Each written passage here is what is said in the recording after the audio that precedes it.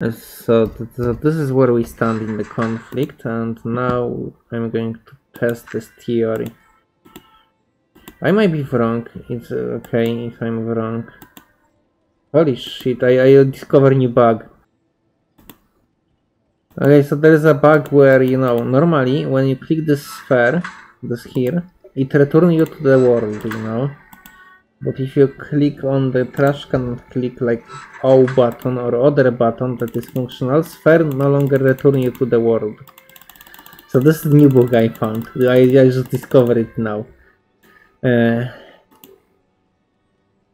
it's irrelevant to anything, just UI bug, but uh, it's it's something I found. Okay, it, it's not my fault. Like some people would find the trick to walk through this water. For example, I just found uh, that that that we bugged slightly.